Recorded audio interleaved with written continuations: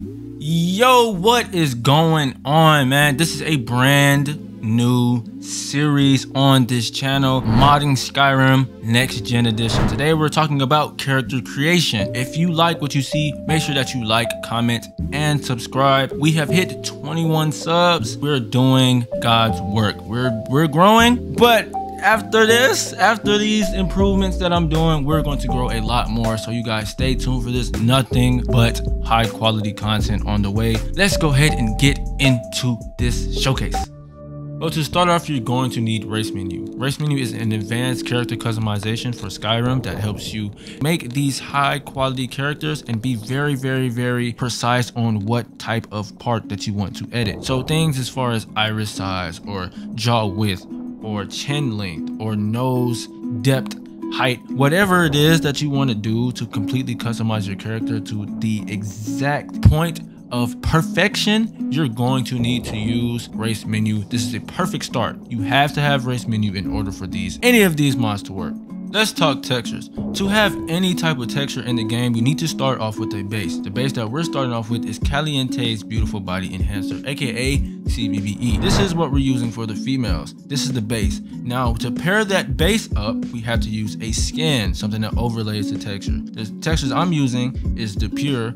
The 8K version makes everything look very, very realistic and very appealing to the eye. I'm using the 8K version of that. For the male bodies, I'm using tempered skins. Tempered skins, you don't really necessarily need a base unless you are using things like SOS or anything that changes or adds an extra texture to the men of the game. You will have to use that as a base and then you will have to add on tempered skins ahead of that in order for the skin to work with that base. Now the mod that completely turns this into a next gen character customization is Charmers of the Reach. Charmers of the Reach is an extremely new preset that you can use for your player and be able to make them look more next gen like.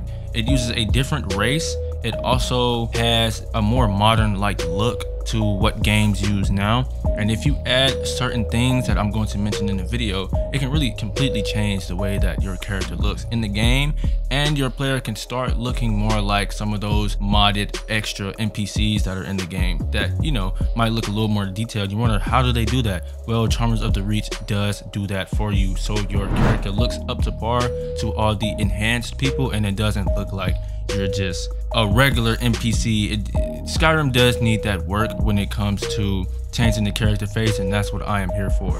Now let's talk about the details. One thing that you're going to need is hair. The hair that we are using is KS Hairdos and also Apachii Sky Hair. These hair mods are the utmost top tier and most trending hair that you can get in Skyrim that can literally change your character from looking like this to this. So it is a very, very, very, very, very essential mod to have when it comes to character creation. Now for males, for males, you can also use KS Hairdos and Apachii Sky Hair, but there is two extra mods that you can add to completely enhance the character creation. Beards and also Beards of Power. These two facial hair mods combined really can have your character looking like somebody from the Vikings to somebody that looks like he got to clock into a 9 to 5 at Bank of America. It is a very, very, very, very good mod to add on to your experience when it comes to character creation and making your character look the way you want to look as far as facial hair is concerned. Now, when it comes to Skyrim, we all know that the body types and the body, the way the body looks in the game doesn't look as next gen. It looked good back in 2011, but now it's time for some changes. So, Knowing that you have installed Caliente's beautiful body enhancers, you can now go on Nexus and find the type of body that you want. All you have to do is type in the Nexus body slide preset. Now, as far as that is concerned, there is a completely and new character overhaul body type for the males. And the body overhaul type that I'm using is Himbo. Himbo is known as highly improved male body overhaul, really overhauls the male body. You can also find a preset on the Nexus as well to be able to change your player's character body type and also get it to the exact way you want it. So now that we have the bases and body builds, now it is time for the extras, the extra extras, the ones that can really make your character have the look but then the little small things make them authentic. So I have community overlays. That is the first mod that I'm using to give the player more war paint options around the body. Some, you know, tattoos, give them tattoos so they can look authentic, very authentic. In the old Norse, in the old Viking days, they all had tattoos. And, you know, I, I really, Skyrim is a very Viking-like game. It can be if you wanted to, but you know, it does have those similarities. So instead of just having war paint on the face, you can now add it on the neck or the hands or the arm or around your whole body or the leg this is a very, very, very good mod to put some authenticity on your player.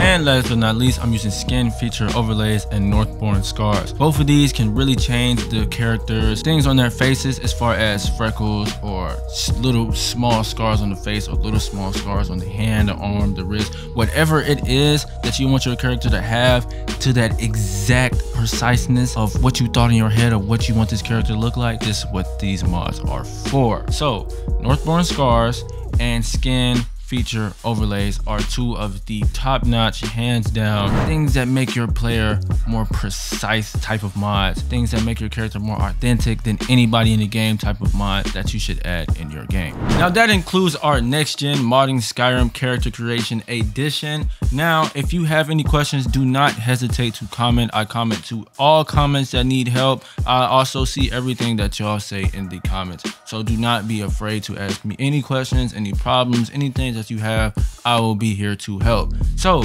if you like what you see, like like I said again, please like, comment, and subscribe. It is very, very, very needed. Hope you enjoyed the video. On to the next. Stay tuned. Next Gen Skyrim Edition. I'm trying to do two a week. So, hey, stay tuned. Next video might be today or tomorrow. You never know. All right. Have a good one.